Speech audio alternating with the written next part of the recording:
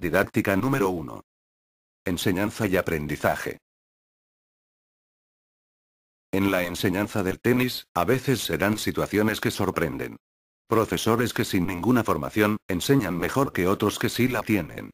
Creo que esto sucede, porque el que no sabe solo utiliza el sentido común, haciéndolo muy natural. Mientras que el que cree saber, solo tiene la solución a pocos casos, por lo que utiliza mismas soluciones a casos diferentes. El profesor debe poseer todo tipo de conocimientos, en cuanto a técnica, táctica, educación física, fisiología, psicología, etc. Normalmente esto se consigue estudiándolo. Pero el problema viene cuando hay que transmitirlo. Con mucha frecuencia esto no se realiza con la metodología adecuada, dando lugar a una enseñanza mediocre, mezclando conceptos, cambiando el orden de progresión, etc. La enseñanza es a la vez un arte y una ciencia. Para algunos profesores resulta una lucha, una profesión en la que se trabaja mucho. Para otros es un placer, una aventura, un desafío.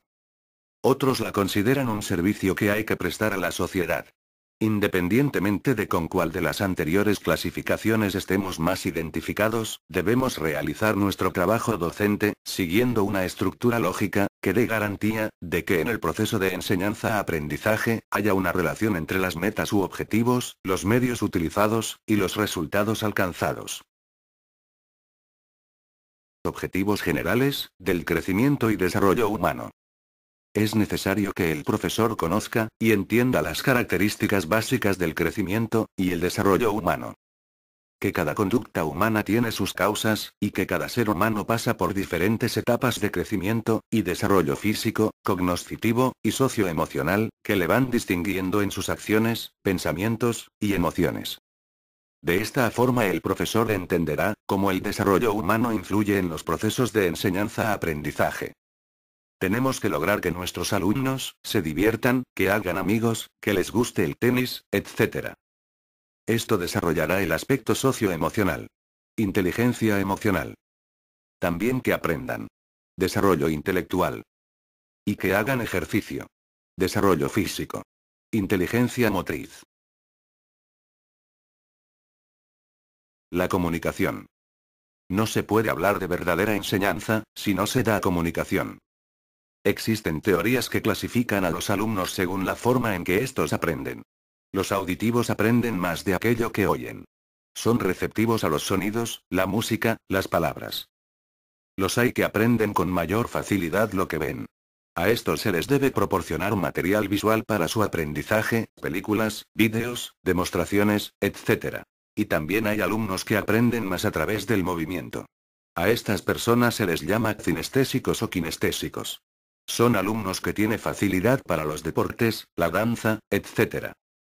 El mensaje verbal, son las palabras utilizadas en el proceso de comunicación. La comunicación no verbal, es el proceso de comunicación mediante el envío y recepción de mensajes sin palabras. Es decir, el tono de voz, y el lenguaje corporal. Gestos, posturas, contacto visual, etc. A veces los alumnos no comprenden cuando se les habla. Tal vez la razón sea, porque el lenguaje corporal está diciendo una cosa distinta, a la que se está expresando con las palabras. Esta comunicación debe ser normal, y fluida. Debiendo saber el profesor generar confianza, y adecuarse a los alumnos. Y conocer, en qué momento se necesita un tipo u otro de sistema de comunicación, para el perfecto desarrollo de las clases.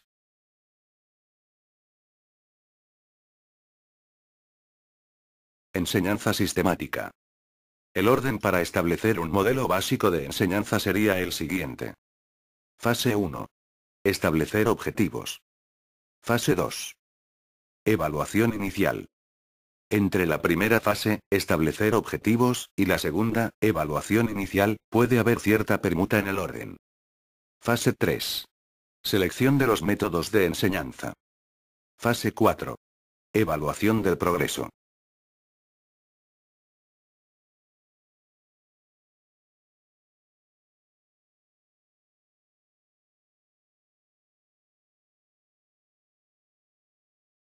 Interacción entre los elementos que intervienen en el proceso de enseñanza-aprendizaje.